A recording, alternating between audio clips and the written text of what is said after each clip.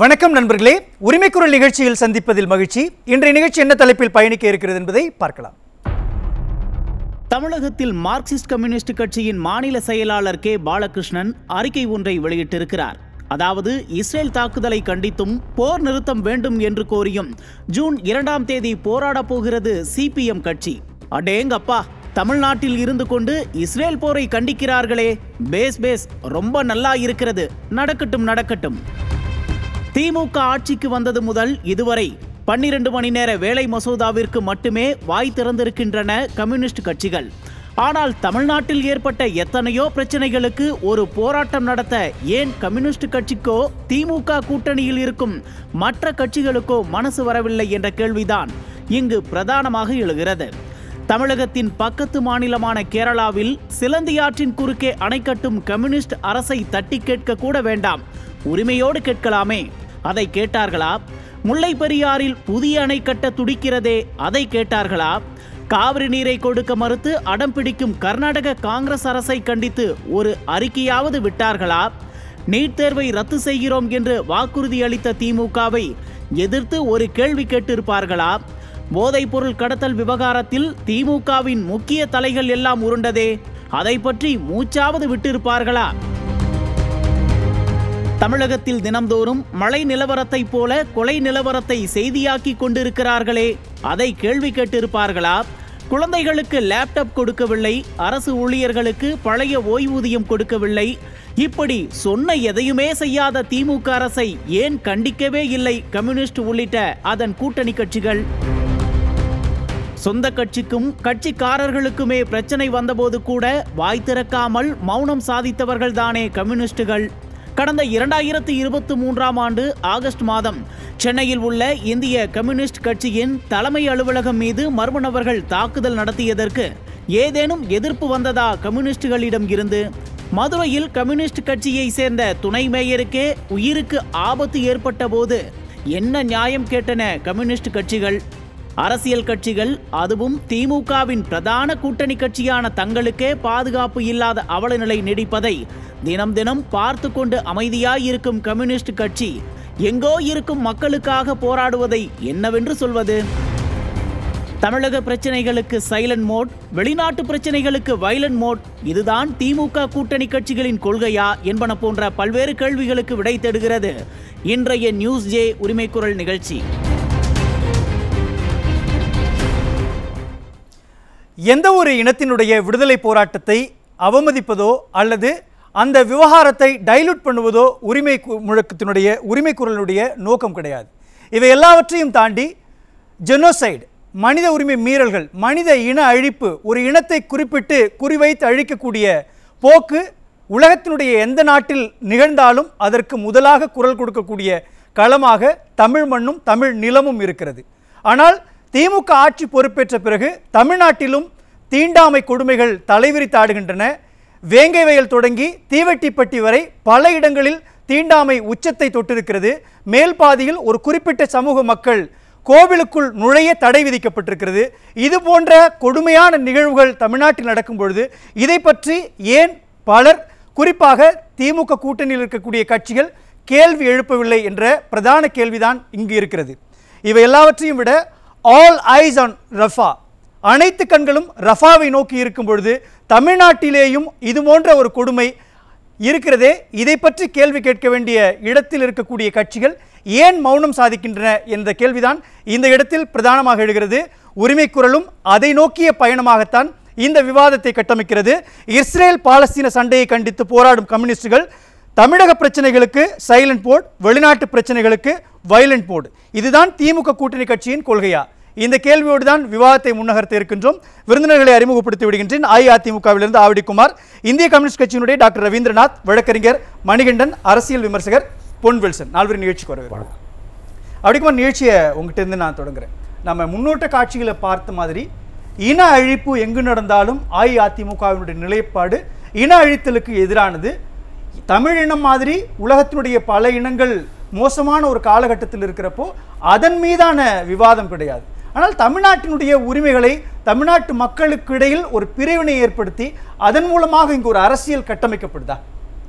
இல்லை நீங்கள் தொடக்கத்தில் சொன்ன நீங்கள் குறிப்பிட்டது போலையும் அதுக்கு முன்னால் அந்த காட்சிகளில் வெளிப்படுத்தியது போலையும் அனைத்திந்திய அண்ணா திராவிட முன்னேற்ற கழகம் இப்போ வெளிநாட்டில் நடைபெறுகின்ற இன அடிப்பு அல்லது மனித உரிமை மீறல் இதையெல்லாம் பார்த்தும் பார்க்காம இருக்கணும்னு யாரையும் சொல்லலை. ஆனால் அந்த நம்முடைய கேள்வி என்ன? அதுபோல் உலகம் முழுவதும் இருக்கின்ற பாதிக்கப்பட்ட மக்களுக்காக போராடுகின்ற மக்களுக்காக துணை நிற்க வேண்டிய கம்யூனிஸ்ட் கட்சி தமிழ்நாட்டின் பிரச்சனைகளுக்கு ஏன் குரல் கொடுக்கவில்லை என்பதுதான் நம்முடைய கேள்வி. ஏன்னா கம்யூனிஸ்டுகளுடைய வரலாறு தெரிஞ்சவங்கன்றதுனால அதை நம்ம அதை கேட்குறோம். நீங்கள் இந்த கேள்வியை போய் காங்கிரஸ் கிட்ட கேட்க முடியாது. அதனால் காங்கிரஸ் வந்து அவங்க போக்கில் தான் இருப்பாங்க. அதனால் கா நாங்கள் காங்கிரஸை கேட்கல பாரதிய ஜனதா கட்சியை கேட்கல. கம்யூனிஸ்டுகளை கேட்க வேண்டிய கடமை எங்களுக்கு இருக்கு. இல்ல அதுதான் அதுதான் ரொம்ப முக்கியம். ஏன்னா நம்ம வந்து காங்கிரஸை கேட்க மாட்டேங்கிறோம். அல்லது வந்து பாஜகவை கேட்க மாட்டேன்றோம் ஒரு குறிப்பிட்ட கட்சியை மட்டும் பெயர் சொல்லி கேட்கிறோம்ன்ற அவசியம் இல்லை எங்கிருந்து அதுதான். அவர்கள் இந்த வகையான போராட்டங்களுக்கு அதிக முக்கியத்துவம் தந்ததில்லை. அதனால தான் கடந்த பேக் ரெக்கார்ட் பார்க்க சொல்ல நம்ம அந்த க- முடிவுக்கு வரோம். ரெண்டாவது கம்யூனிஸ்டுகள் பாலதண்டாயுதம் போன்றவர்கள் கல்யாண சுந்தரம் போன்றவர்கள் தாப்பா போன்றவர்கள் கடந்த கேடிகே தங்கமணி போன்றவர்கள் இந்திய கம்யூனிஸ்ட் கட்சி எடுத்துக்கிட்டால் கூட கடந்த காலத்தில் எழுபத்தி ரெண்டுலேருந்து அனைத்து இந்திய அண்ணா திராவிட முன்னேற்ற கழகம் உருவான பிறகு நம்மோடு நேசத்தோடு இருந்து போராடிய அந்த தலைவர்கள்லாம் பீர ராமமூர்த்தி போன்றவர்கள் எத்தனையோ தலைவர்கள் பி பாலசுப்ரமணியம் போன்றவர்கள்லாம் வந்து இணக்கமாக இருந்திருக்காங்க. அது மாதிரி அவங்க தொழிலாளர்களுடைய பிரச்சனைக்காகவும் உரிமைகளுக்காகவும் அவங்க தொடர்ந்து போராடிக்கிட்டு இருக்காங்க. போராடி தான் இந்த கம்யூனிஸ்ட் கட்சி நிலைநிறுத்தின சங்கரையா போன்றவர்கள்லாம் இன்றைக்கும் அந்த நோக்கத்தில் இருந்துக்கிட்டு இருக்காங்க ஆனால் இன்றைக்கு தமிழ்நாட்டில் நான் வெளிப்படையாக நம்ம கேட்கணுன்னா திமுக ஆட்சிக்கு வந்து இந்த மூன்று வருஷத்தில் எந்தவித பிரச்சனையும் இல்லையா? கம்யூனிஸ்டுகள் போராட்ட குணத்தை இழந்து விட்டார்களா? அல்லது போராடுவதற்கு பிரச்சனை இல்லாமல் இருக்கிறார்களா? இந்த கேள்வி மக்களிடத்தில் வரத்தானே செய்யும். ஏன்னா கம்யூனிஸ்டுகளுக்கு என்று தமிழ்நாட்டை பொறுத்த வரைக்கும் ஒரு சரியான களம் இருந்தது. இன்னும் சொல்ல போனால் ஊடகவியலாளர்கள் எல்லாம் பெரும்பாலும் மார்க்சிய சித்தாந்தங்களை படித்துவிட்டு கம்யூனிச நூல்களை படித்துவிட்டு பத்திரிகையாளர் ஆனவங்க தான். கடந்த காலத்தில் பார்த்திங்கன்னா எல்லாருமே வந்து மா- மார்க்சிய சித்தாந்தத்தில் இருந்த வழுவி பத்திரிகையாளர்கள் பெரும்பகுதி இருந்ததில்லை. எல்லாருமே அடிப்படையில் கம்யூனிஸ்டுகளாக தான் பத்திரிகையாளர்களாக வந்திருப்பாங்க அப்படிப்பட்ட ஒரு தமிழ் மண்ணில் இன்னைக்கு பிரச்சனைகளை பேசுறதுக்கு ஆள் இல்லை. இல்ல இந்த மௌனம் தான் ஏன்? ஏன்னா இப்போ ஹத்ராஸ்ல பாலியல் வன்கொடுமைக்கு ஒரு சிறுமி உள்ளாக்கப்படுறப்போ இங்கிருந்து இடதுசாரிகளும். முற்போக்குவாதிகளும் கேள்வி எழுப்புறாங்க. காஷ்மீர்ல மனித உரிமை மீறல் நடக்கிறப்போ அல்லது மணிப்பூர்ல மணிப்பூர் பற்றி எறிகிறப்போ இங்கிருந்து குரல் கேட்கிறது. இன்னைக்கு அதனுடைய உச்சமாக பாலஸ்தீனத்தினுடைய விடுதலைக்காக பேசக்கூடிய பொழுது தமிழ்நாட்டினுடைய உரிமையை ஏன் கேட்காம இருக்கிறாங்களா? அல்லது மௌனமா இருக்கிறாங்களா? இங்கிருந்து குரல் கொடுத்தாங்கன்றது நம்ம பாராட்டுறோம். அதில் வந்து அந்த குரல் ஏன் கொடுத்தாங்கன்ற கேள்வி நமக்கு இல்லை. ஆனால் அந்த குரல் வந்து எல்லா இடங்கள்லையும் ஒழிக்கிறது போல தமிழ்நாட்டிலேருந்து ஒழிச்சதுன்றதை தவிர அதுக்கு ஆனால் தமிழ்நாட்டில் ஒழிக்க வேண்டிய குரல் தமிழ்நாட்டில் ஒழிக்காததுனால அது எங்கேயும் வெளியே போகலை. தமிழ்நாட்டிலே ஒழிக்கல அப்புறம் மற்ற இடங்கள்ல அது செய்தியாக்கிறதுக்கு வாய்ப்பே இல்லாமல் போச்சு. இன்றைக்கு அந்த செய்திகளை வெளியாக்க வேண்டிய கம்யூனிஸ்டுகள் இதில் முன்னெடுக்காதனால பத்திரிகையாளர்களும் முன்னெடுக்கலன்றது என்னுடைய கருத்து. இல்ல அது முன்னெடுக்கலன்னு நீங்க எப்படி சொல்றீங்க? ஒருவேளை அவர்கள் முன்னெடுத்து அது ஊடக வெளிச்சம் படாமல் கூட இருந்திருக்கலாம் இல்லையா? நிச்சய நிச்சயமாக கம்யூனிஸ்டுகளுக்கு போராட்ட குணம் உண்டு. அவங்க எண்ணிக்கையை வைத்துக்கொண்டு எந்த போராட்டத்தையும் அவங்க போராட்டங்கள் நிர்ணயிக்கப்படுவதில்லை. அவர்கள் கொள்கை அடிப்படையில் கருத்துக்களின் அடிப்படையில் பிரச்சனைகளின் அடிப்படையில் போராடுகின்ற அந்த அவர்களுடைய முன்னெடுப்பு வந்து நிச்சயமாக அது எண்ணிக்கையை வைத்தோ அல்லது ஊடகங்களினுடைய பலத்தை வைத்தோ அது முடிவுக்கு வர்றதில்லை. அது வந்து இன்றைக்கு அதுவும் ஒரு சாதாரண யாரோ ஒருத்தர் ஒரு பேருந்தில் ஃபுட்பாலில் தொங்குறாங்க அவங்கள போயிட்டு எடுத்த நிறுத்துகிறாங்க அதை போய் கண்டிக்கிறாங்க அது உடனே செய்தி ஆகுது அது என்ன எந்த ஊடகம் முன்னெடுத்தது? அது சமூக ஊடகங்களில் அது ஒரே நிமிஷத்தில் வைரல் ஆகுதுல்ல திமுக கூட்டணியில இடதுசாரிகள் இருக்கிறதுனால கூட்டணிக்குள் ஒரு நெருடல் ஏற்படும் அப்படின்ற ஒரு ஐயம் இருக்குதா? இல்லை கம்யூனிஸ்டுகள் கடந்த கால வரலாறை பார்த்தீங்கன்னா கம்யூனிஸ்டுகள்லாம் ஒன்று பயந்துகிட்டு அரசியல் நடத்தினதா எனக்கு தெரியல இந்த ஒரு மூன்றாண்டு ஐந்து ஆண்டுகளாக வேணா அப்படி இருக்கலாமே ஒழிய அதுக்கு முன்னே இருந்த கம்யூனிஸ்ட் தலைவர்கள் இன்னும் சொல்லப்போனால் கம்யூனிஸ்டுகளே கூட அவர்களுடைய போராட்ட குணம் என்பது யாரும் கட்டுப்படுத்த முடியாத ஒரு அந்த அந்த செங்கொடியை அவங்க பிடிக்கிறாங்கன்னா அதுக்குரிய குருதி அவங்க உடம்புல ஓடிட்டு இருந்தது. அந்த கொடியினுடைய கம்பீரம் அவங்க எந்த நிலையிலும் யாருக்கும் பணிய மாட்டாங்க. இல்ல நீங்க சொல்றது என்னால புரிஞ்சுக்க முடியுது. ஆனா இப்போ தமிழ்நாட்டில் திமுக ஆட்சிக்கு வந்த பிறகு நடக்கக்கூடிய பல இஷ்யூஸ் இப்போ பன்னிரெண்டு மணி நேர வேலை திட்டத்தை சட்டப்பேரவையில் அறிமுகப்படுத்துறப்போ இடதுசாரிகள் மட்டுமே உரிமை குரல் முழக்கிறாங்க. தீவட்டிப்பட்டியில இரண்டு பிரிவுகளுக்கு இடையே சண்டை நடக்கிறப்போ விசிகா மட்டுமே களத்துல போய் போராட்டம் நடத்துது அப்படின்றப்போ திமுகவினுடைய கூட்டணியில் இருக்கக்கூடிய கட்சிகள் ஏன் ஒருமித்து செயல்பட முடியல? தமிழ்நாட்டினுடைய உரிமைக்காக ஒருமித்து அவங்களால பேச முடியல. நீங்க எல்லா கட்சியும் சொல்றீங்க. என்னை பொறுத்த வரைக்கும் நான் இதை கம்யூனிஸ்டுகளுக்கான பார்வையா நான் பார்க்குறேன். இதுல நீங்க இதுல ரெண்டே ரெண்டு செய்தி தான். ஒன்று கம்யூனிஸ்டுகள் தங்களுடைய வலிமையை இழந்திருக்கிறார்கள். அல்லது கம்யூனிஸ்டுகளை அடக்குகின்ற வல்லமை ஆட்சியாளர்களுக்கு திமுகவுக்கு இருக்கிறது. அவங்க எவ்வளவு அடக்குமுறையை பார்த்திருக்காங்க இல்லையா? இடதுசாரிகள் அது அதுதான் நம்முடைய ஐயம். இன்றைக்கு நாம் வந்து அதை அவ்வளோ அடக்குமுறைகளை சந்தித்தவர்கள் இன்றைக்கு ஏன் அடங்கி கிடக்கிறார்கள்? ஏன் அட அல்லது அடக்கப்பட்டிருக்கிறார்கள்? இந்த அடக்கப்படுவது ஆட்சியாளருடைய சாதனையா? இல்லை அடங்க அடங்கி கிடப்பது கம்யூனிஸ்டுகளுடைய வேதனையான்றது தான் இன்றைக்கு கேள்வி. நான் சரி இது தனிப்பட்ட வேங்கை வயல் பிரச்சனையாக இருந்தாலும் மேல் பாதி பிரச்சனை எந்த பிரச்சனையாக இருந்தாலும் அவங்க குரல் கொடுக்கல. சரி நான் கம்யூனிஸ்டுகளுக்குள்ளே அந்த போர் குணம் போராட்ட குணத்துக்கு பாதிப்பை தந்திருக்கின்ற இன்றைக்கு பரந்தூர் விமான நிலையத்துக்கு நிலம் எடுக்கிறாங்க. அங்கே இருக்கிற மக்கள் தொடர்ந்து போராடிக்கிட்டு இருக்காங்க. ஏறத்தாட எனக்கு தெரிஞ்சு ஒரு ஆறு மாதமாக போராடுறாங்கன்னு நினைக்கிறேன். அங்கே பல்வேறு போராட்டங்கள் வெளி வெளியே வரல. ஆனால் இந்த அர இந்த அரசு எவ்வளவு மோசமான அரசு ஒரு அ- அடக்குமுறை அரசுன்றதுக்கு உதாரணம் மற்ற மாவட்டங்களிலிருந்து அங்கே போராட யாரையும் அனுமதிக்கலை. மற்ற எந்த கட்சியும் அங்கே போராட விடலை. அங்கே இருக்கிறவங்கள தவிர வேற யாரும் போராடுகின்ற உரிமை அங்கே த மறுக்கப்பட்டிருக்கிறது எ- ஒரு எமர்ஜென்சியை விட ஒரு கொடுமையான நிலை அங்கே நிலவிட்டு அ- அப்படிப்பட்ட ஒரு இருக்குதா? நான் முடிச்சிடறேன் அப்படிப்பட்டவங்க அதை மீறி போராடினவர்கள் மீது விவசாயிகள் மீது கூண்டாஸ் போட்டாங்க. அப்போ கூட இவங்க களத்துக்கு போகலையே. அதே மாதிரி தானே இது சிப்காட் எடுக்க அந்த மேல்மா திருவண்ணாமலையில். அங்கே என்ன நடந்துக்கிட்டு இருக்குது ஒரு விவசாய நிலத்தை இங்க விவசாயம் சரியாக மூணு போகம் நட விளைஞ்சிக்கிட்டு இருக்க ஒரு இடத்த சிப்காட் அமைக்கிறேன். அதை விரிவாக்கம் பண்ணுறதுக்கு இங்கே தான் சரியான இடம். இங்கே இருந்தால் தான் வெளிநாட்டு முதலாளிகள் வராங்க. உலக மையம் தாராள மையத்தெல்லாம் எதிர்க்கின்ற கம்யூனிஸ்ட்டுகள் அந்த அவங்களுக்கு இடம் எடுத்து கொடுக்கறதுக்காக இந்த அரசு விவசாயத்தை அடிக்குது? இதை கேட்கணும் இல்லை பேசலாம். முதற்கட்ட பார்வையை நான் முன் வச்சுக்கிறேன். மீண்டும் நான் உங்ககிட்ட வரேன். மணிகண்டன் நீங்க எப்படி பார்க்குறீங்க இந்த விஷயத்தை? ஏன்னா நம்ம இடதுசாரிகள் கம்யூனிஸ்ட் கட்சின்ற ஒரு சின்ன கண்ணோட்டத்தில் மட்டுமே இதை கட்சி சார்ந்த விவாதமா மாற்றாம தமிழ்நாட்டிலையும் பல கொடுமைகள் நடக்கிறப்போ ஒரு எதிர்க்கட்சியாக செயல்படக்கூடிய மக்கள் நலன் சார்ந்த அரசியல் கட்சிகள் மௌனமாக இருப்பது கூட்டணி கட்சிக்குள் ஒரு நெருடலை ஏற்படுத்தக்கூடாதுன்ற பார்வை இருக்குது அதுக்குள்ள. தமிழகத்தில் ஜனநாயகத்தின் குரலாக வெடித்துக் கொண்டிருக்கின்ற நியூஸே தொலைக்காட்சிக்கு வணக்கங்க. என்னோட ஆடியோ சரியா இருக்குங்களா? இருக்கு இருக்கு. பேசுங்க.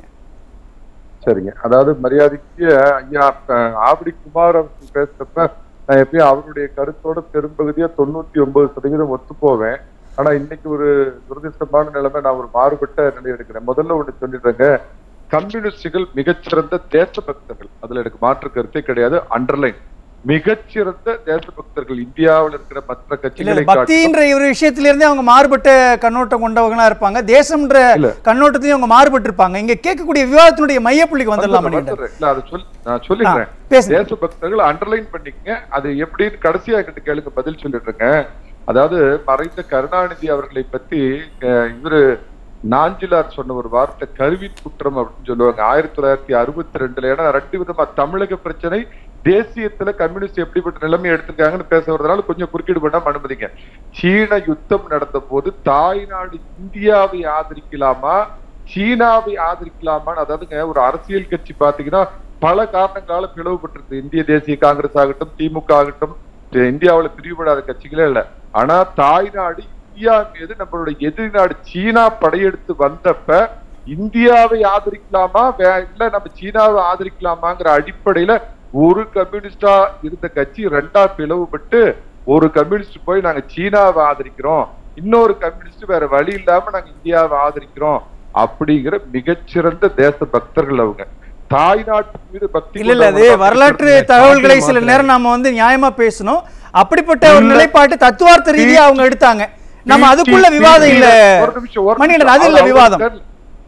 இல்ல இல்ல. பிடி ரணதேவே என்ன சொல்லிருக்காரு அதே மாதிரி ஜனநாயகத்துல நாங்க எதற்காக பங்கெடுத்தோம்னா ஜனநாயகத்தை அழிப்பதற்காகத்தான் நாங்க ஜனநாயகத்துல பங்கெடுத்தது துக்ளக் ஆசிரியர் ஷோ கிட்ட வந்து ஜோதிபாசு இல்ல இல்ல மணிகண்டன். அவங்க சிபிஐனுடைய ஸ்டாண்ட் வேற சிபிஎம் ஸ்டாண்ட் வேற சீனா ஸ்டாண்ட் எடுக்கலாமா ரஷ்ய ஸ்டாண்ட் எடுக்கலாமா அது விவாதம் கிடையாதுங்க இங்க.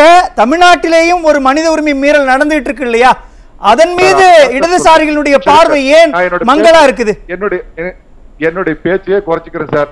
இந்தியா மேல அத்துமீறி இந்திய ராணுவ வீரர்கள் மேல தாக்குதல் நடத்துறாங்க சீனா நடத்துறாங்க. உய்கர் முஸ்லீம்களை அவங்க நாட்டிலேயே அடிச்சு கொ- கொல்றாங்க. இத வந்து கண்டிக்கிறேன்னு அவர் ரவீந்திரநாத் சொல்ல சொல்லுங்க நான் பேச்சையே விட்டுறேன். இதை ரெண்டையும் கண்டிக்கிறேங்க. நான் இந்திய கம்யூனிஸ்ட் தான். சீனாவோட அடக்குமுறை இது பண்றேன். அதே மாதிரி கொரோனாவுக்கு நாம நூத்தி நாற்பது கோடி பேருக்கு ஊசி போட்டது கேலி பேசிட்டு ஜிங்பிங்கே வருக உலகை காக்க வருக அப்படின்னாங்க.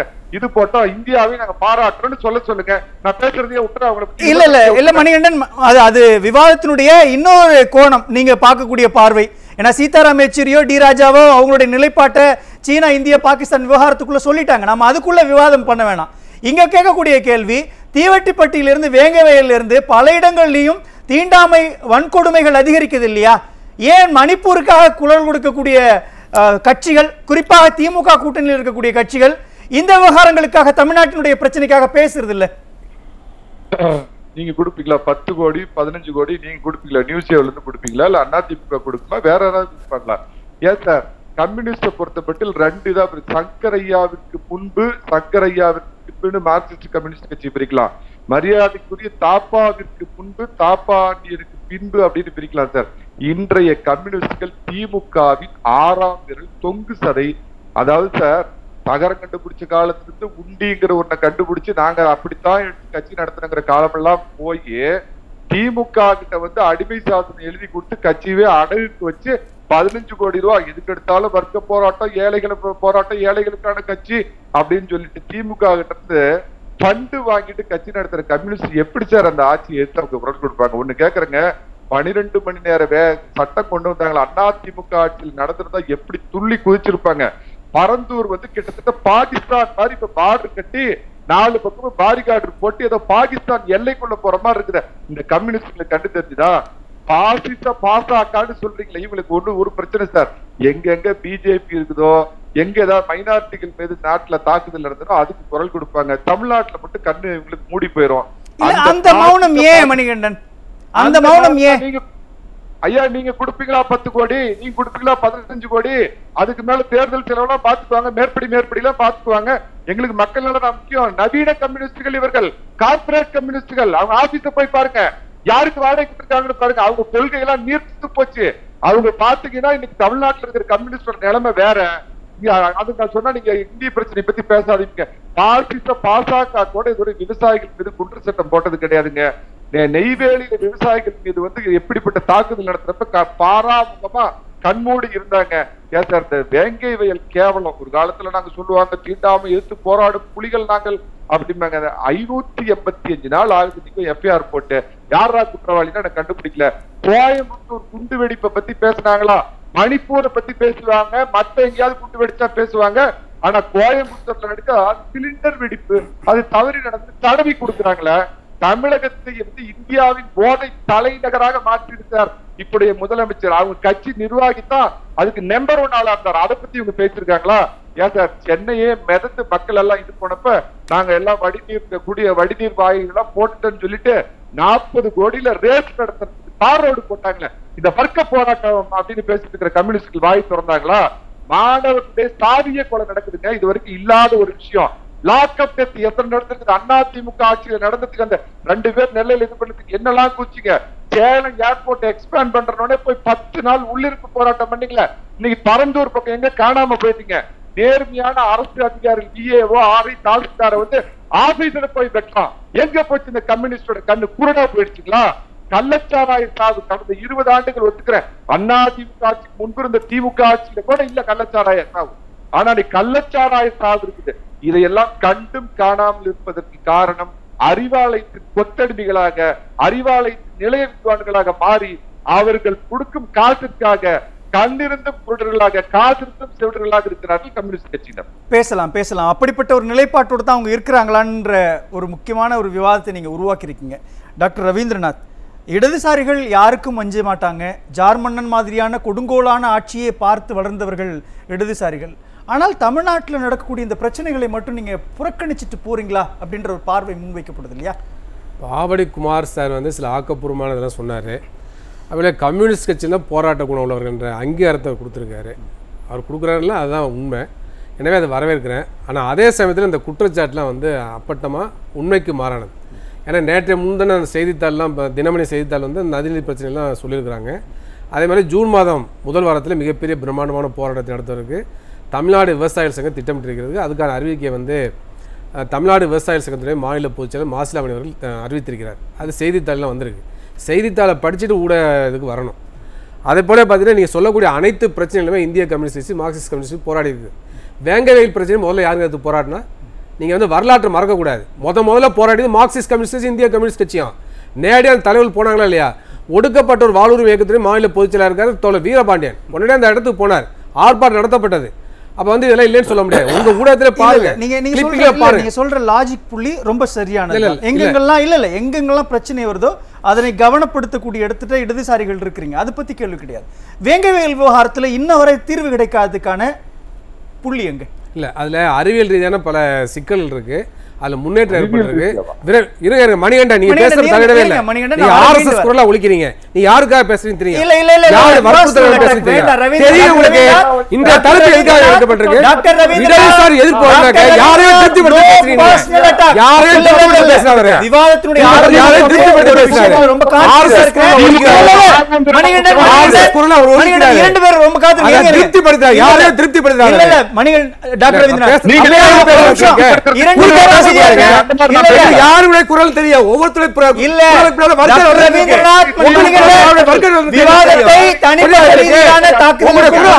வேண்டாம். ஒரு ஒரே ஒரு ஒரே ஒரு வாய்ப்பு. ஒரே ஒரு ஒரே ஒரு எல்லாருக்கும் உண்டு. உரிமை குரலினுடைய தொடக்கத்திலிருந்து பதிவு செய்யப்பட்டதுதான் எந்த ஒரு கட்சியையோ எந்த ஒரு இனத்தையோ அவமரியாதை செய்யக்கூடிய நோக்கம் கிடையாது. ஆரோக்கியமான விவாதத்தை மட்டுமே உரிமை குரல் முன்னெடுக்கிறது. அந்த அடிப்படையில் எந்த கட்சியினுடைய தனிப்பட்ட ரீதியிலான தாக்குதல் வேண்டாம். அப்படி நடந்தா அதுக்கான குறுக்கீடு நிகழ்த்தப்பட்டிருக்குது. விதா விவாதத்தினுடைய மையப்புள்ளி உண்மையிலே பார்த்தா நீங்க நீங்க கம்யூனிஸ்ட் கட்சியில பத்தி தான் எடுத்திருக்கீங்க.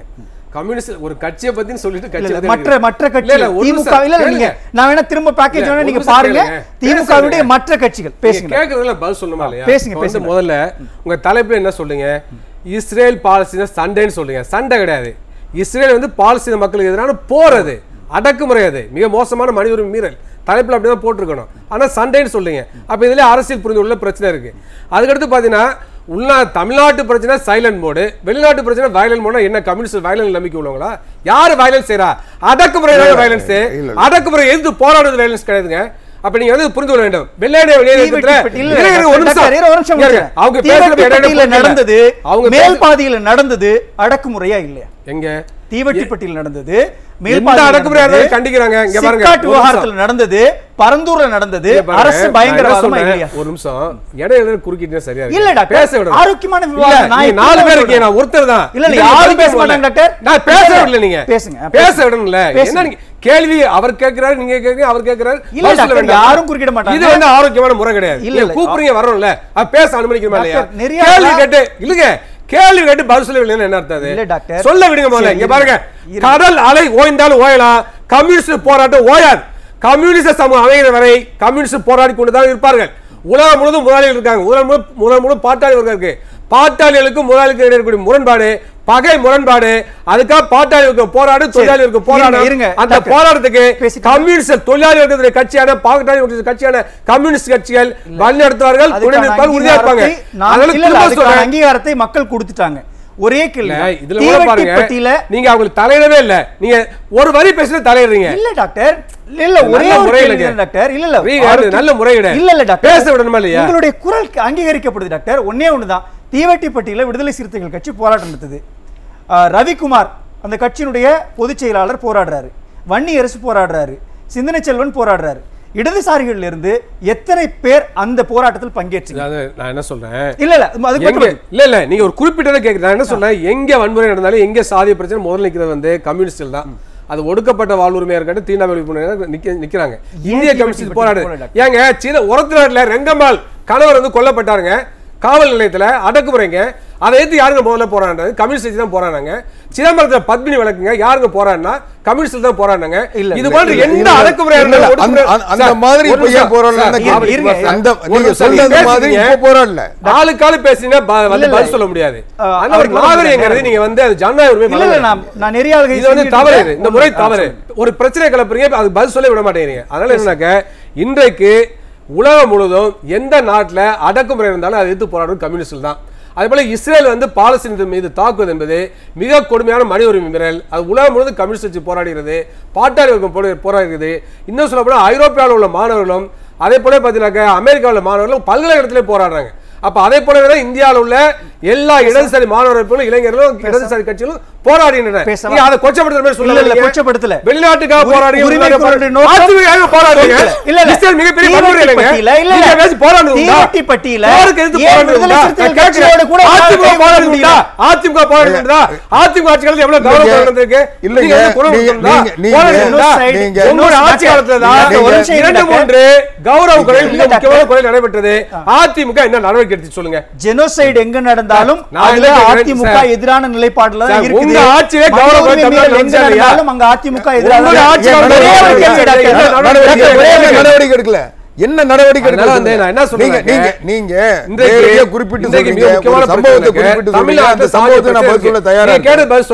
தமிழ்நாட்டுல சாதிய பிரச்சனை இருக்கு. தீண்டாமை பிரச்சனை இருக்கு. இது பகுத்தறிவு மண் தந்தை பெரியார் பிறந்த மண்லாம் சொல்றோம். ஆனா தமிழ்நாட்டுல தான் மிக குறைவாக கலப்பு திருமணம் நடக்குது. என்ன காரணம்? தமிழ்நாட்டில் சாதிய உணர்வு இன்றைக்கு வந்து மத்திய தர வர்க்கத்தில் இன்னும் சொல்லப்போனால் போனா இடைநிலை சாதி மத்தியில் அதிகமாக இருக்கு. அதில் கலப்பு திருமணம் தமிழ்நாட்டில் பெரியல பெரு- பெருகல. அதுக்காக பெரியாரை குறை சொல்லிட முடியுமா? அதில் திராவிட இயக்கத்தை குறை சொல்லிட முடியுமா? இந்த தமிழ்நாட்டுடைய பிரச்சனை என்ன பார்க்கணும். இதுக்கு ஆய்வு அவசியம்.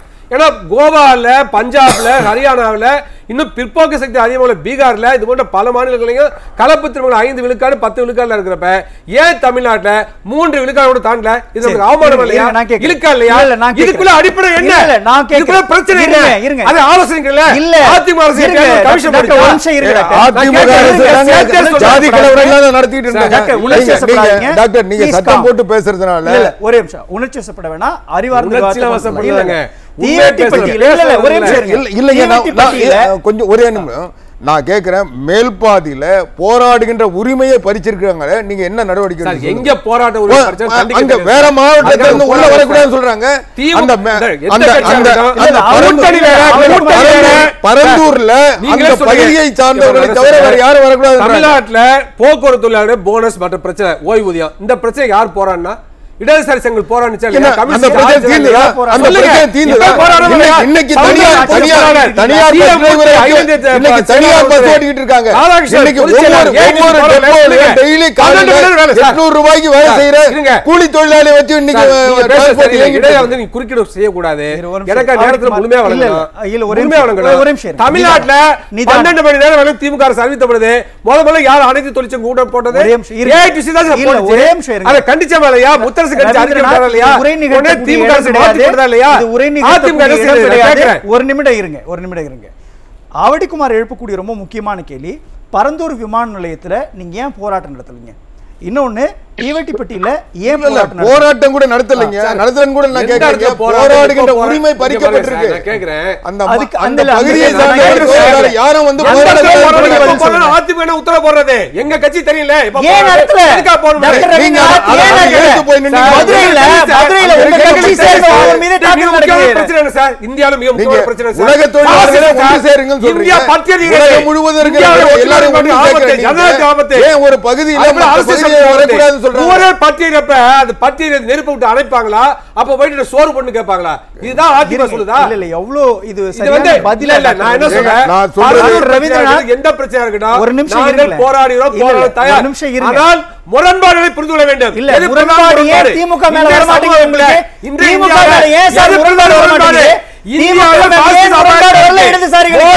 சிறுபான்மை மக்களுக்கு எதிராக இருக்கு. அது அரசியல் சட்டத்தில் என்ன பண்ணீங்க? இடதுசாரிகள் என்ன தீர்வை கொண்டு வந்தீங்க? தீவெட்டிப்பட்டியில என்ன தீர்வு கொண்டு வந்தீங்க? மேல்மா சிப்காட்ல என்ன தீர்வு கொண்டு வந்தீங்க? விவசாயிகள் மேல பதியப்பட்டது. என்ன தீர்வு கிடைச்சது உங்களுக்கு? கூட்டணி என்பது வேற போராட்டங்கள் வேற. ஏன் செய்யல? ஏன் செய்யல? ஏன் செய்யல நீங்க சார் நான் கேக்குறேன் சாதாரண சாமானிய மக்கள்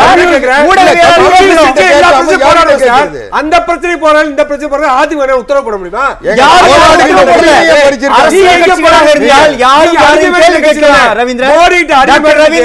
யாரும் யாரும் கேள்வி கேட்கலாம் அடிப்படை யாரும் பேச வரீங்க அதுக்கான அருகதை இருக்கு உங்களுக்கு நான் கேக்குறேன் நீங்க நீங்க அடகு வச்சிட்டீங்க 10 கோடிக்கு 10 கோடிக்கு 15 கோடிக்கு கட்சியை வித்துட்டீங்களா நாங்க என்ன சார் ரவீந்திரநாத் ஒரு டாக்டர் ரவீந்திரநாத் ஒரு நிமிஷம் டாக்டர் ரவீந்திரநாத் வேண்டாம்.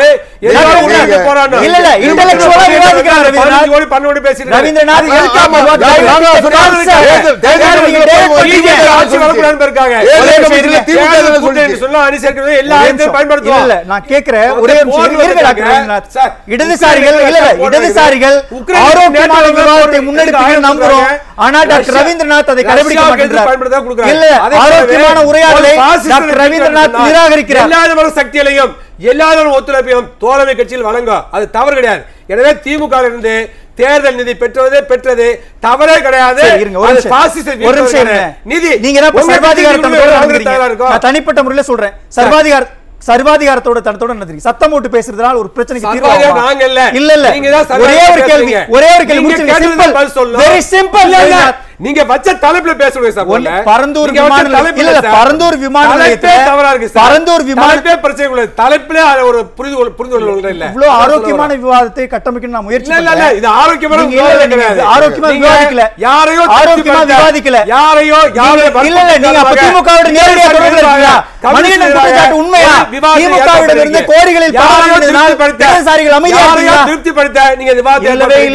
இல்ல சார் எதிர்ப்பு இப்பவும் இப்பவும் நீ சொன்னீங்க விவாதத்தை ஆரோக்கியமா கொண்டு போல விவாதத்தை ஆரோக்கியமா கொண்டு போல இடதுசாரியே இல்லை.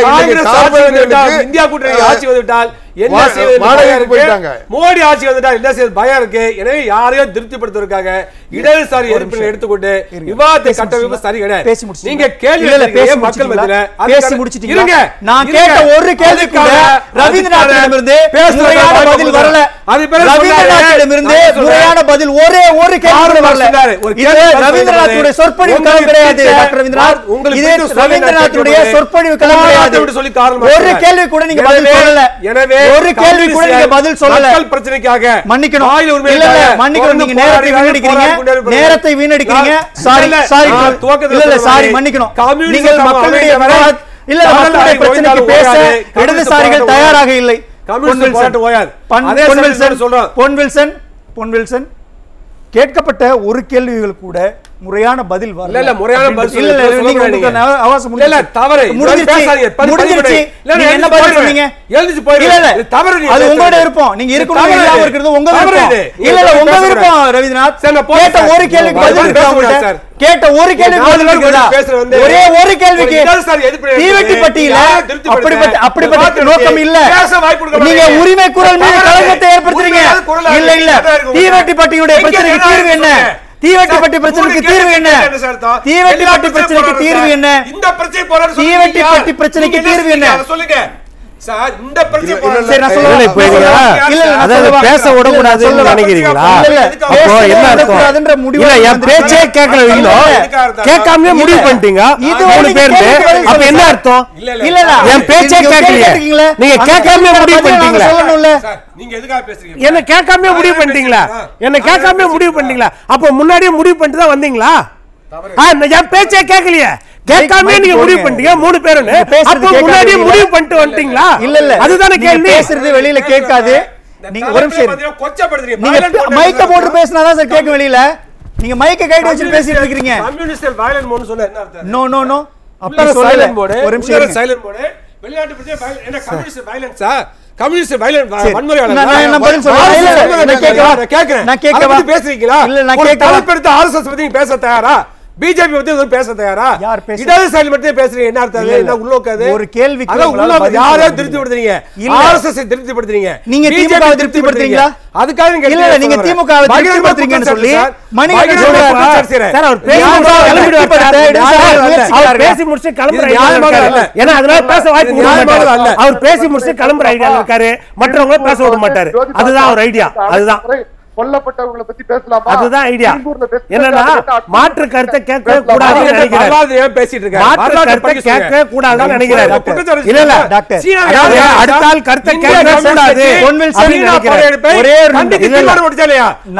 அதுக்கு பதில் சொல்லிட்டேன். இருங்க ஒரே நிமிஷம் இருங்க அதனால ஒரே ஒரு நிமிடம் இருங்க வரலாறு படிக்காம இல்ல இருங்க டாக்டர் ரவீந்திரநாத் இருங்க உங்களுடைய? களம் மட்டும் கிடையாது அவமானமானது, ரவீந்திரநாத் இல்ல இல்ல ஒரு நிமிஷம் நீங்க. விவாதத்தினுடைய அரை மணி நேரத்தை பார்வையாளர் நேரத்தையும் சேர்த்து. வீணடிச்சிருக்கீங்க இது போன்ற விவாதத்துக்கு ஒரே வரலாற்றை. படித்துவிட்டு வரணும் வரலாற்றை திருத்தப்பட்டது. சொல்லக்கூடாது. இல்ல அந்த வரலாறு திருத்தப்பட்டது ஒரே ஒரு கேள்விதான். வரலாறுல திருத்தப்படல. தீவட்டிப்பட்டி இல்ல வெளிப்படையானதா இருக்கு. இல்ல. என்ன இந்திய கம்யூனிஸ்ட் கட்சி சரி ஓகே. சீன. படையெடுப்பை இல்ல நீங்க உரிமை குரலினுடைய நிகழ்ச்சியுடைய நேரத்தை.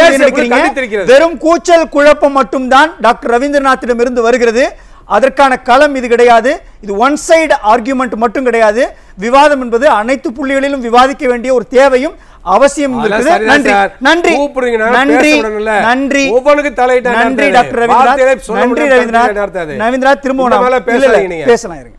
பொன் வில்சன் விவாதத்தினுடைய மூன்று பேருடைய இந்த உரையும் கேட்டிருப்பீங்க. உண்மையிலேயே இந்த விவாதத்தை எப்படி நாம் முதல்ல கட்டமைச்சிருக்கிறோம்? டாக்டர் ரவீந்திரநாத் சில விமர்சனங்களை நேரடியாக சொல்கிறார். அதே சமயத்தில் அவர் மீதோ அல்லது திமுகவினுடைய கூட்டணி கட்சிகள் மீதோ வைக்கக்கூடிய விமர்சனங்களுக்கான பதில் கிடைக்கல. எப்படி பார்க்குறீங்க? இந்த மன்றம் இப்போ என்னென்னா திமுக ஆட்சி எந்த அளவுக்கு மோசமாக கேவலமாக இருக்கிறது? இதுதான். இந்த ஆட்சியில் ஆனால் போராட்ட குணம் படைத்த கம்யூனிஸ்ட் ஏன் அமைதியாக இருக்கிறது? இதுதான் கேள்வி. இப்போ நம்ம திமுகவை காம்ப்ரமைஸே பண்ணல. ஆனால் கம்யூனிஸ்ட்டை எதற்காக கேள்வி கேட்குறோன்னா அவர்களிடம் எதிர்பார்ப்பு நமக்கு அதிகமாக இருக்கிறது.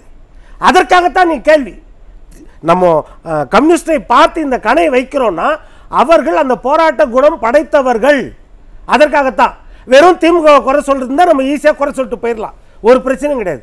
ஆனால் கம்யூனிஸ்ட் கிட்ட இந்த எதிர்பார்ப்பு இன்னும் உயிரோட்டோட இருக்கிறது அப்படின்ற எதிர்பார்ப்புல கேட்குற கேள்விகள். அதுதான்.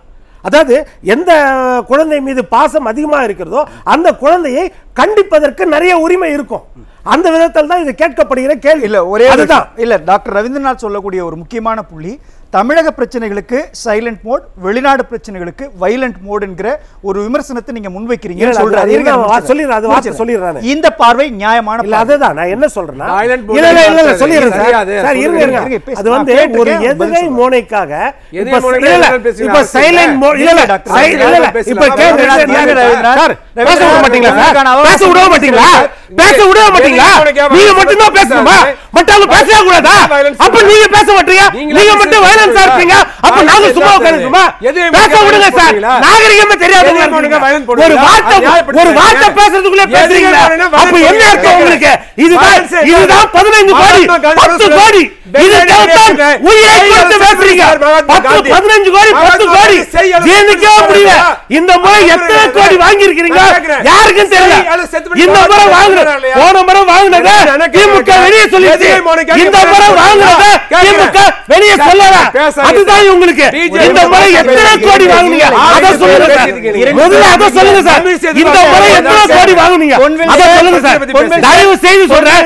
இந்த முறை எத்தனை கோடி வாங்குனீங்க அதை சொல்லுங்க சார் பொன்வில்சன் அமைதியா இருங்க அப்புறம் என்ன ஒரு. ரெண்டு வார்த்தை கூட பேசலாம் பொன்வில்சன், அது கூட பேசலாம் இருங்க பொன்வில்சன். அப்ப என்ன அர்த்தம்? இல்ல ஒரே ஒரு நிமிஷம் ஒரே ஒரு நிமிடம் விருந்தினர்களை பணிவோடு கேட்டுக்கொள்கிறேன் ஒரு ஆரோக்கியமான விவாத களத்தை முன்னெடுக்கிறது தான் தமிழ்நாட்டு மக்களுக்கு நாம. இருங்க அப்புறம் அவர் சொன்னதுல என்ன சார் அப்ப என்ன அர்த்தம்? டாக்டர் ரவீந்திரநாத், நானும் நேரா அவகாசம் நானும் கொடுங்க. விருப்பப்பட்டு தான் இருங்க. வந்திருக்கேன். ஆ, அவரை மாதிரி இருங்க, அவரு இருங்க, எப்படி விருப்பப்பட்டு வந்திருக்காரா? நேரா அப்ப அவகாசம் நானும் கொடுக்க விருப்பப்பட்டு மாட்டேங்க. வந்திருக்கேன். போட்டுருங்க. இல்ல, இல்ல, அப்படிங்களா? உங்களுடைய நேர நான் ஒண்ணும் அவகாசம் கோடி எனக்கு வாங்கின்னு வரல. அரசியல்வாதியா பேசுறதுக்கு. பேசுறதுக்கு டாக்டர் பேசும்போது நீங்க ஏன் வாயை நீங்க திறக்கிறதுக்குள்ளே வாயை பேசுறீங்க. நீங்க ஒரே நிமிஷம். வாயை திறக்கிறதுக்குள்ளே உங்களுடைய பேசுறீங்க. நேரத்தை தான் அப்புறம் நீங்க பேசிட்டு இருந்துச்சுன்னா என்ன உங்களுக்கான அவகாசம் கொடுக்கிறேன். உங்களுக்கான அவகாசம்.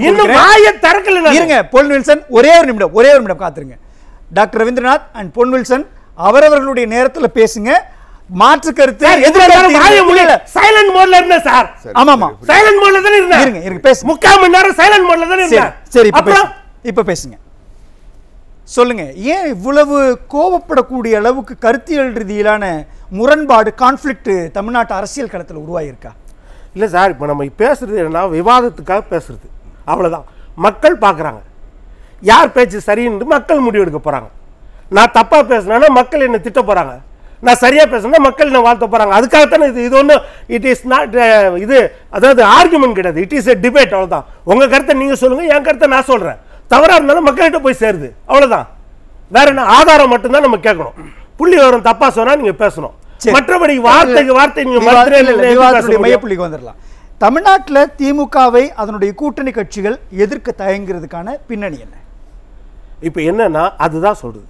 இப்போ அதுக்காகத்தான் நம்ம ஆதாரங்களோட சொல்றது தான் இப்போ டாக்டர் சொன்னார் வேங்கை வயல் பிரச்சனையில் நாங்கள் முதல்ல பேசணும்னார்.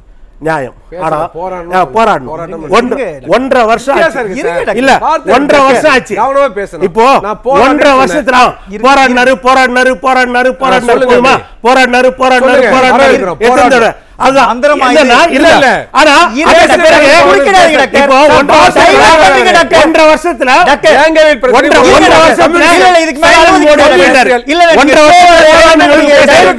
அடுத்தது ஒன்றரை வருஷத்துல சைலண்ட் மோடுக்கு போயிட்டாரு அதுதான் சொல்கிறேன் ஒன்றரை வருஷத்தில் சைலண்ட் மோடுக்கு போயாச்சு. போராடிட்டு அதற்கு அடுத்தது என்னென்னா கேரளாவில் சிலந்தி ஆறு பிரச்சனை. எத்தனை போராட்டம் எத்தனை ஆர்ப்பாட்டம்? சொல்லுங்கள் இப்போ சொல்லுங்கள் எத்தனை போராட்டம் எத்தனை ஆர்ப்பாட்டம்? சிலந்தி ஆறு பிரச்சனைக்கு. அந்த விவசாயி அவன் உயிரை கையில் பிடிச்சிட்டு போராடிட்டு இருக்கிறான். ஆனால் வாய் மூடி மௌனியாக இருக்கிறோம் நம்ம. என்ன அர்த்தம்? முல்லை பெரியாறு அணையில் இன்றைக்கு பினராய் விஜயன் மத்திய சுற்றுச்சூழல் துறைக்கு அனுமதி கேட்டு கடிதம் எழுதுறாரு. அவங்க நிபுணர் குழுவுக்கு அனுப்புறாங்க. எந்த போராட்டம் நடத்தணும்? இருபத்தி எட்டாம் தேதி முந்தானத்து ஐந்து மாவட்ட விவசாயிகள் தஞ்சை டெல்டா பகுதி தேனி பகுதியிலிருந்து போய் அங்க பென்னி கோயில் சிலைக்கு முன்னாடி உட்கார்ந்து போராட்டம் பண்ணிட்டு இருக்கான். அங்க யார் போராட்டம் நடத்திட்டு இருக்கா அப்போ? இதெல்லாம் யார் கேள்வி கேட்குது அப்போ?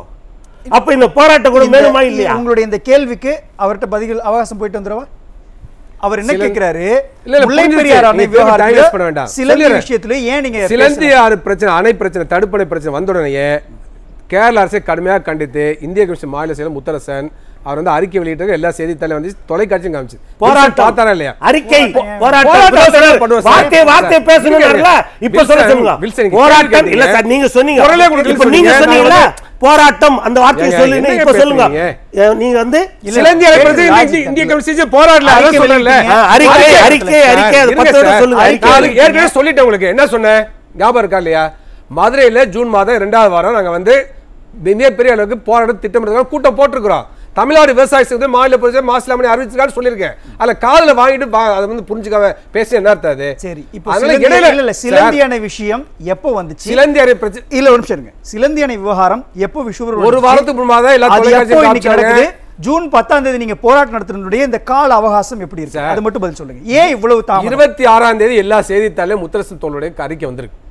கடுமையா கண்டிச்சு அறிக்கை வெளியிட்டிருக்காரு. அதே போல மாசிலாமணி அவருடைய அறிக்கையில முல்லை பெரியார் விஷயத்துல கேரள அரசாங்கம் நயவஞ்சமா செல்வன்ற வார்த்தையை போட்டிருக்காரு. நீங்க அறிக்கையை படிச்சு பாருங்க. உங்க இப்ப உங்க டிவிக்கு வந்திருக்கு. நயவஞ்சங்கிற வார்த்தையை அதனால என்ன ஏதோ. வந்து கேரள நயவஞ்சகமா போராட்டம் செயல்படுறாங்கல்ல. ஆமா. ஏன் கடுமையான போராட்டத்தை செய்யல? அதான் ஜூன் போராட்டத்துக்கு போராட்டத்துக்கு பெயர் ஒரு போன இடதுசாரிகள். ஏன் அதை களத்துக்கு போகல? ஒரு பிரச்சனையை புரிஞ்சுக்கணும். தேர்தல் இறுதி கட்டத்தில் இருக்கு. வாக்காளர் இது வந்து என்ன போகிறாங்க அப்போ எல்லா எங்களுடைய கட்சி தொழில் எல்லாம் அதில் இருக்கிறாங்க. அப்படி இருக்கும் பிரம்மாண்டமான போராட்டம் எப்படி நடத்த முடியும்? தேர்தல் முடிவுகள் அறிவிக்கப்பட்ட பிறகு நடத்த முடியும். அதனால் அந்த மாதிரி திட்டமிடுவதற்காக ஜூன் மாதம் ரெண்டாவது வாரம் கூட்டம் போட்டிருக்கோம். அப்போ அந்த அந்த பிரச்சனை புரிஞ்சுக்க வேண்டாமா? விவசாயிகள் போறாங்க அவங்க ஆதரவு. டாக்டர், இருங்க. ஒரு கட்சி என்ற முறையில். பங்கேற்கிறோம் புரிஞ்சுச்சு, புரிஞ்சுச்சு. புரிஞ்சுச்சு. வாக்குகள் என்ன பண்ண எங்களுடைய தோழர்கள் அதுல இருக்கிறாங்க அதே போல அதான். சொல்லிடுறேன். நீங்க இன்னும் ஒண்ணு சொல்லிடுறேன் நாளைக்கு வந்து இந்திய கம்யூனிஸ்ட் மாநில நிர்வாக குழு தோழர் செல்வராஜ் எம்பி அவருடைய படத்திறப்பு நிகழ்ச்சி அவர் தான் முத முதல்ல பார்த்தீங்கன்னாக்க காவிரி நடுவர் மன்ற நடுவர் மன்றம் அமைக்கப்பட வேண்டும் என்பதற்காக ஆயிரத்தி தொள்ளாயிரத்தி எண்பத்தி ஒன்பதுல இருந்து தஞ்சாவூர்ல இருந்து வேதாந்தம் வரை மனித சங்கடி போடுறது முன்னிலை பங்கேற்றார். மீண்டும்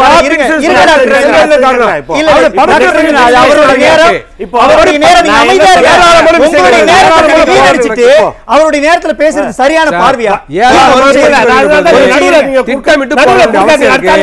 ஜூன் சொல்லிட்டாரு. இப்ப நான் சொல்ல வேண்டிய கருத்தை சொல்றேன் நானு. இப்போ அடிக்கடி பாக்குறீங்க பட்டாசு தொழிற்சாலை வெடி விபத்து எந்த பாதுகாப்பும் இல்லாம நடக்குது. அந்த மக்கள் பாத்தீங்கன்னா அப்பாவி மக்களாக இருக்கிறாங்க அந்த நம்ம அந்த பகுதியில் சிவகாசி பகுதியில். தொடர்ந்து ஒவ்வொரு முறையும் எடப்பாடி பழனிசாமி அவர்கள் குரல் கொடுத்து கொண்டே இருக்கிறாரு. எதிர்கட்சி எதிர்க்கட்சி வரிசையில் இருக்கார். கூட்டணி கட்சிகள் குரல் கொடுக்கும்போது தான் ரொம்ப சுரத்தாக ஒரிக்கும் ஆளுங்கட்சிக்கு. அதுதான். ஏன்னா கடந்த பன்னெண்டு மணி நேரம் வேலை திட்டத்தில் சொன்னார் டாக்டர். ஒரு ரங்கராஜன் ஒரு கூட்டத்தில் பேசுகிறார் எப்படின்னா அந்த சட்டமன்றத்தில் முதலமைச்சர் இல்லை அந்த நேரத்தில் வந்து அந்த இதை மசோதாவை கொண்டு வந்துட்டாங்கன்னு சொன்னார். கடைசி நாளில். அப்போ என்ன சொன்னாரு அதிகாரிகள் ஆட்சி செய்கிறார்களா? ஆட்சியாளர்கள் ஆட்சி செய்கிறார்களா? இந்த ஆட்சி ஆக்கப்பூர்வமாக தொடர வேண்டும் என்றால் இந்த பன்னெண்டு மணி நேர வேலை திட்டத்தை கொண்டு வந்த அதிகாரிகள் மீது நடவடிக்கை எடுக்க வேண்டும்னு கம்யூனிஸ்ட் கட்சியை சேர்ந்த ரங்கராஜன் மேடையில் பேசினாரு. அடுத்த நாள் முரசொலியில வருது அவரை பற்றி தாறுமாறாக திட்டி வந்து இது போல பேசுவதற்கு யோகியதை அருகதை இந்த ரங்கராஜன் அவர்களுக்கு கிடையாது அப்படின்னு வருதா இல்லையா? T K Rangarajan. T K Rangarajan அவர்களுக்கு. இந்த மாதிரி வந்துச்சா இல்லையா அவங்க? அதற்கு பிறகு அதனால தான் நம்ம சொன்னது அதற்கு பிறகு அமைதியாகி விட்டார்கள். அப்படிங்கன்னா அந்த அதிகாரிகள் மேலே நடவடிக்கை எடுக்கலையே. அப்போ போராட்டம் பண்ணாங்களா? ஆர்ப்பாட்டம் பண்ணாங்களா? எந்த சிக்காகோ மாநகரத்தில் ரத்தம் சிந்தி பெற்றது எட்டு மணி நேர வேலை அப்படின்ற சுதந்திரம். அந்த சுதந்திரத்தை பறிக்கும் போது அந்த அதிகாரிகள் மீது எடுக்கப்பட்ட நடவடிக்கை என்ன? இன்றைக்கு வரைக்கும் அதுக்கு கம்யூனிஸ்ட் பதில் சொல்லியிருக்கதா? இல்லை நான் வெளிப்படையாக கேட்குறேன் கம்யூனிஸ்டுகள் திமுகவுக்கு அஞ்சுறாங்களா? அஞ்சுறாங்களோ இல்லையோ அந்த வார்த்தையை நான் பயன்படுத்த விரும்பல. ஆனால் இவர்கள் தங்களுடைய தோழமை என்பதற்காக அமைதி காக்கிறார்கள் உண்மை? லாக்அப் மரணங்கள். இன்றைக்கு? லாக்அப் தொடர்ந்து நடக்குது. இந்த அமைதிக்கான காரணம் என்ன? காரணம் தான் தோழமை உணர்வு. அதற்கு பிறகு நிறைய மர்ம முடிச்சுகள் இருக்கும் நம்மளுக்கு தெரியாது. வெளிப்படையில் நம்ம பார்க்கும்போது தெரியுது அந்த போராட்டங்களும் கம்யூனிஸ்ட் கிட்ட இல்லை. என்ன என்றால் ஒரு கேள்வி எழுது. ஒரு பக்கம் கூட்டணி கட்சின்ற கூட்டணி தர்மம். இன்னொரு பக்கம் தமிழ்நாட்டினுடைய நலன் சார்ந்த விஷயங்கள். இந்த ரெண்டு புள்ளியில் இடதுசாரிகளோ அல்லது திமுக கட்சிகளினுடைய கூட்டணி கட்சிகளோ எந்த இடத்துல நிற்கிறாங்க இல்லை நான் என்ன சொன்னால் திமுகவுடைய மற்ற கூட்டணி கட்சியை பற்றி நம்ம பேசவே இல்லை. நம்ம எதுக்காக இந்த மையப்புள்ளியை வச்சிருக்கோம் நம்மளுக்கு கம்யூனிஸ்ட் மேலே அக்கறை இருக்கிறது. கம்யூனிஸ்டுகள் அந்த கொள்கையை உடையவர்கள் தொழிலாளருக்காக போராடக்கூடியவர்கள். கம்யூனிஸ்டுகள் என்றாலே போராட்டத்திற்கு பெயர் போனவர்கள். கம்யூனிஸ்டுகள் என்றாலே ஆர்ப்பாட்டத்திற்கு பெயர் போனவர்கள். கம்யூனிஸ்டுகள் என்றாலே தொழிலாளர்களின் உரிமைக்கு பெயர் போனவர்கள். இன்றைக்கு பெயர் போனவர்களாக மட்டுமே இருக்கிறார்களே. அதுதான் கேள்வி. இந்த கேள்விக்கு தான் செங்கொடியை கையில் தூக்குகிறவர்கள் செங்கொடி என்ற ஒற்றை கொடியை வைத்திருப்பவர்கள் இன்று இருநிற கொடிக்கு மாறிவிட்டார்களோ என்ற ஐயம் ஏற்படுகிறது. அதற்காகத்தான் இந்த கேள்வி. கொள்கை. கொள்கை மாற்றம் நடக்குமா நீங்க கொள்கை மாற்றம் அவர்கிட்ட சீக்கிரத்தில் நடக்காது. கொள்கையை அவர்களுடைய சொத்தாந்தத்தை அவர்கள் வைத்துத்தான் இருக்கிறார்கள். ஆனால் அந்த கொள்கையை எதற்காக இன்றைக்கு மறைத்து வைத்திருக்கிறார்கள் புதைத்து வைத்திருக்கிறார்கள் என்பதுதான் கேள்வி. இப்போ பார்த்தீங்கன்னா எடுத்தீங்கன்னா சம்மர் ரீகன் இந்த சம்மர் நேரத்தில் மின் தட்டுப்பாடு எல்லா இடத்துலையும். நான் சின்ன வயசுல இருந்து பார்த்திருக்கிறேன். மின் தட்டுப்பாடு ஏற்பட்டாலும் சரி குடிநீர் பஞ்சம் ஏற்பட்டாலும் சரி அங்க ஒரு கம்யூனிஸ்டுக்கார் வந்து நிற்பார் போராட்டத்துக்கு. முதல்ல அவர் தான் வந்து நிற்பார் இன்றைக்கு அந்த கம்யூனிஸ்ட் எங்கே? அதுதான் கேள்வி. களத்துல. காணுமே. அறிக்கை விடுகிறார்கள் கண்டனம் தெரிவிக்கிறார்கள் அதெல்லாம் இல்லைன்னு சொல்ல. ஆனா களத்துல பாத்தீங்கன்னா கடை கோடி ஒரு கம்யூனிஸ்ட் அந்த இடத்துல வந்து நிப்பாங்க. இன்றைக்கு அந்த கம்யூனிஸ்டுகளை காணவில்லையே. ஆவடிக்குமார் இறுதி கருத்து மிகச் சுருக்கமா அதாவது நான் நிறைய செய்திகள் சொல்லணும்னு நினச்சேன். விவாதம் போயிட்டதுனால நான் சுருக்கமாக சொல்கிறேன் மரியாதைக்குரிய டாக்டர் ரவீந்திரநாத் அவர்கள் சொன்னதில் அவர் வேகம் இருந்ததே தவிர அதை சரியாக ஒரு எடுத்தாண்டாரான்னு எனக்கு புரியல. என்னென்னா கம்யூனிஸ்ட்டுகள்னாவே வயலண்ட் மோடில் தான் இருப்பாங்க. அவங்கக்கிட்ட இயற்கையாகவே போராட்ட குணம் இருக்கும். நான் பார்த்த கம்யூனிஸ்ட்டுகள் அப்படி தான் இருந்தாங்க. அதனால் வைலண்ட் மோடுன்றது ஒன்றும் தவறான வார்த்தை இல்லை. அவங்க ஏன் அமைதியாகிட்டாங்க சைலண்ட் மோடு போயிட்டாங்க. எல்லாத்தையும் பார்த்து அமை ஒரு கம்யூனிஸ்டினுடைய அடிப்படை இலக்கணமே எதை பார்த்தாலும் ஒரு தவறு நடந்தால் சீறி இடணும் அவன் தான் கம்யூனிஸ்ட்டு. அதுதான் கம்யூனிசம் சொல்லி தந்தது. ஆனால் அது இல்லாமல் ஏன் அமைதியாக உறக்கத்தில் இருக்கிறாங்கன்றது தான் இந்த இன்றைக்கி எழுப்பப்பட்டிருக்க கேள்வி. அதையே டாக்டர் ரவீந்திரநாத் அவர்கள் தவறாக புரிஞ்ச எடுத்து சொல்கிறாங்க அது வந்து அவர் ஏதோ ஒரு பார்வையில் அதை பார்த்துருக்காருன்னு நான் புரிஞ்சிக்க முடியுது. என்னை பொறுத்த வரைக்கும் நான் ஆரம்பத்திலே சொன்னேன். கம்யூனிஸ்டுகள் மீது இருக்கின்ற கவலையின் காரணமாக தான் இந்த கேள்வி கேட்குறேன். இன்றைக்கு திமுக ஆட்சி இருக்கும் நாளைக்கு இன்னொரு ஆட்சி வரும். அண்ணா திமுகவோட அவங்க சேரலாம் இல்லை வேறு க திமுகவோட அவங்க இருக்கலாம் இல்லை ரெண்டு பேரும் எதிர்த்து கூட அவங்க நிற்கலாம். அது வந்து க அரசியலில் மாற்றங்கள் தொடர்ந்து நிகழ்ந்துக்கிட்டு தான் இருக்கும். ஒரே கட்சியோடு அவங்க இருக்க போது. அவங்களுக்காக இவங்க அடிப்படையை ஏன் இழந்துடுறாங்கிறது தான். ரெண்டாவது இப்போ என்னுடைய அவர் பேச சொல்ல பல செய்திகள் சொன்னார் சகோதரர் வில்சன் சரி டாக்டர் ரவீந்திரநாத்தும் சரி ம- மணிகண்டனும் சரி. நான் கேட்குறது சி மேல்மாவில் பரந்தூரில் இன்றைக்கி என்ன நிலமை? மற்ற அந்த மாவட்டத்தை சார்ந்தவர்களை தவிர இன்னும் சொல்ல போனால் அந்த கிராமத்தை சார்ந்தவர்களை தவிர வேறு இன்னொருத்தர் உள்ளனுடைய விடலை. இன்றைக்கி போய் பார்த்துட்டு வர சொல்லுங்கள் பத்திரிகையாளர் போக முடியல. அது ஒரு தீவம் ஆக்கி வச்சு ஆக்கி வச்சுருக்காங்க. அதை வந்து மற்றவங்க கேட்குறாங்களோ இல்லையோ கம்யூனிஸ்ட்டுகள் அதை ஏற்று போராடி இருக்க வேண்டாமா? அதை முறியடிக்க வேண்டாமா? அவங்களுடைய உரிமை அது. அது இந்த நாட்டினுடைய அடிப்படை ஜனநாயகம் தருகின்ற உரிமை அரசமைப்பு சட்டம் தருகின்ற உரிமை அதை கம்யூனிஸ்டுகள் முன்வைத்த போராட்ட குணம் அது இன்றைக்கி மறுக்கப்படுகிறது. இதே அதிமுக ஆட்சியில் இது மாதிரி ஒரு நிலவரம் இருந்தால் இன்றைக்கி அமைதியாக இருந்திருப்பாங்களா? அதுதான் என்னுடைய கேள்வி. ரெண்டாவது அவர் சொன்னார் பாதுகாப்பு இல்லாமல் பணியாற்றுறாங்கன்னு சொல்லி சொன்னார். நான் கேட்குறேன் இன்றைக்கி அரசு போக்குவரத்து கழகங்கள் அகவலைப்படி கொடுத்தாங்களா? ரெண்டாயிரரூபா கொடுக்க சொல்லி உயர்நீதிமன்றம் சொல்லிச்சு. கொஞ்சம் கருணை காட்டுங்க ரெண்டாயிரரூபா கொடுங்க அப்புறம் பேசிக்கலான்னு அதை கூட கொடுக்க மாட்டேன்னு சொன்னது ஒரு அரசாங்கம். எதிர்த்து என்ன பண்ணாங்க? இவங்க தொழிற்சங்கம் தான் அங்கே பெருசாக இருக்குது இன்றைக்கி கம்யூனிஸ்ட்டுக்கு தான் போக்குவரத்து தொழிலாளர். இன்றைக்கி ஒரு பஸ்ஸு கூட ஒழுங்காக இல்லை. எல்லா பஸ்ஸும் ஒரு பாதுகாப்பற்ற சூழ்நிலையில் இன்றைக்கு தொழிலாளி பணியாற்றிட்டு இருக்கான். அவனுக்கு அவனை போய் போலீஸை விட்டு பெல்ட்டு போடலன்னு கேட்குறான் பெல்ட்டே இல்லை சீட்டே இல்லாமல் அவன் வந்து மேஜிக் பண்ணிட்டு ஓட்டிட்டு போகிறான் அவனை போய் போடுறாங்க. ஒரு அரசாங்கம் இதை வந்து ஒரு தொழிற்சங்கம் போராட வேணாமா? கம்யூனிஸ்டுகள் கேள்வி எழுப்பியிருக்க வேணாமா? ஒரு அர இது இது யாருடைய தவறு? இன்னைக்கு வந்து எந்த அரசு பஸ்ஸில் பெல்ட் போடுறாங்க? ஆனால் அதை வந்து ஒரு குற்றமாக சொல்லி போலீஸுக்கும் போக்குவரத்து தொழிலாளருக்கும் நடந்த பிரச்சனையில் போலீஸ் தன்னுடைய அதிகாரத்தை வந்து போக்குவரத்து தொழிலாளர் மேலே திணிக்கிறாங்க. அதை அதை எதிர்த்து கேட்க எதிர்த்து கேட்க கூட இல்லாமல் இருக்கிறாங்களன்றது தான் என்னுடைய வேதனை. நன்றி. மணிகண்டன் உங்களுடைய இறுதி கருத்து மிகச் சுருக்கமா? சார் நீங்க சொல்றதுல நான் இன்னொன்னு மாறுபடுறேன். அதிமுக ஆட்சியில ரொம்ப வைலண்டாவும் திமுக ஆட்சியில ரொம்ப சைலண்டாவும் தான் போராடுறது கம்யூனிஸ்டோட குணம். அதிமுக ஆட்சியில பாருங்க ஒரு பிரபல பாடகர் ஏசுதாஸ் எஸ்பிபி எல்லாம் மிஞ்சின ஒரு பாடகர் இருப்பார். மூடு டாஸ்மார்க்க மூடு அப்படின்னு ஊர் ஊருக்கா தப்பையை அடிச்சு போய் பாடினேன். கோவன் எங்க போயிட்டாரு? இவங்க ஆதரவு பெற்ற சட்டக்கல்லூரி மாணவி எங்க போயிட்டாங்க? தாமு ஏசாருன்னு வச்சுட்டு இருப்பாங்களே சார் தமிழக முற்போக்கு எழுத்தாளர்கள் சங்கம்.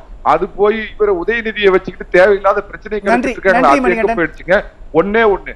இந்தியா முழுக்க சுத்தி இருக்கிற நாடுகள் எல்லாம் அணு ஆயுதத்தை வச்சிட்டு இருக்கிறப்ப நாங்கள் டாட் கூட்டணி டவுட் கூட்டணி ஆட்சி வந்தா இந்தியாவில் அணு ஆயுதத்தை ஒழிப்போம் அப்படிங்கறத அவங்க தேசப்பற்று மது வீட்டுக்கு கேடு கம்யூனிஸ்ட் நாட்டுக்கு கேடு மாறன் தமிழகத்தை பொறுத்த மட்டும் இந்தியாவை இல்ல இல்ல பொறுத்த மட்டும் தனிப்பட்ட தாக்குதல் வேண்டாம் தனிப்பட்ட தாக்குதல் வேண்டாம் குரல்னு சொல்றேன் நன்றி. அவர் யாருக்கு நீங்க இல்ல தனிப்பட்ட தாக்குதல் வேண்டாம். குரல் தனிப்பட்ட தாக்குதல் வேண்டாம் ரவீந்திரநாத் தனிப்பட்ட அவர் பேசுறாரு. இல்ல, அவருக்கும் கம்யூனிஸ்ட் என்ன அர்த்தம் இறுதி கருத்து.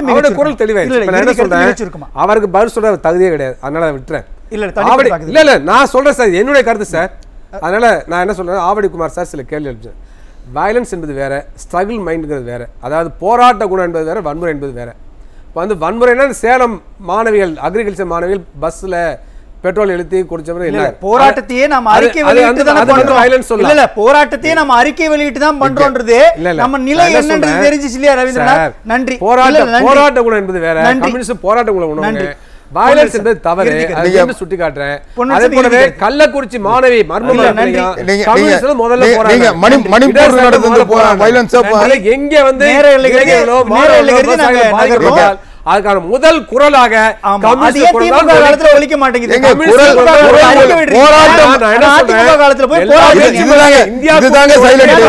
போராட வேண்டிய.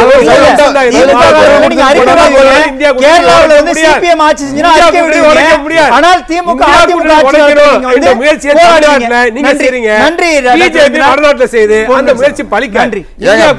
பிஜேபி பூச்சாண்டியை பார்த்து நீங்க பயப்படுங்க. இந்தியா நாங்க பயப்பட வேண்டிய அவசியம் இல்ல. பிஜேபிக்கு. பயந்து பதிவு ஒதுங்கி இருக்கிறது நீங்க போராட்ட குணத்தை விட்டுட்டு அமைதியான நிலைக்கு போனது நீங்க. பிஜேபிக்காக பயந்துருக்கீங்க. நீங்க பிஜேபி முடியாது. re- இந்த கூட்டணியை உடைக்கிறதுக்கு நம்ம வேண்டாம் ராகுல் காந்தி போனோம். பற்றி ராகுல் காந்தி சொல்றாரு. பிஜேபி கூட கூட்டணியில் இருக்கிறதால தான் உங்க மேல வழக்கே வரல. நன்றி. அப்படின்னு கம்யூனிஸ்ட். ராகுல் காந்தி கேட்கிறாரு காந்தி கேட்கிறாரு காந்திக்கு பதில் சொல்லுங்க.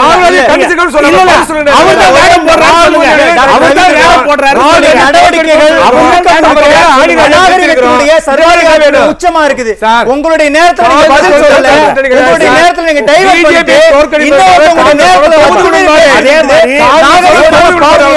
மக்கள் மன்றத்துல ராகுல் வைக்கிறோம். அவரால் இல்ல, ஐநூறு இல்ல, பேச சொல்ல முடியாது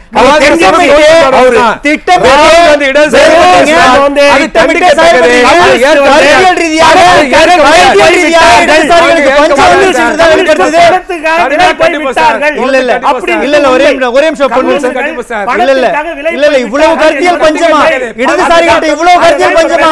டாக்டர் ரவீந்திரா அதுதான் இடதுசாரிகள்ட்ட இவ்வளவு கருத்தியல் பஞ்சமா டாக்டர் இடதுசாரிகள்ட்ட இவ்வளவு கருத்தியல் பஞ்சமா? நன்றி நிகழ்ச்சியில் பங்கேற்று கருத்துக்களை வழங்கிய. விருந்தினர்கள் நால்வருக்கும் நன்றி. மற்றொரு விவாத நிலையத்தில் சந்திக்கலாம். நன்றி வணக்கம்.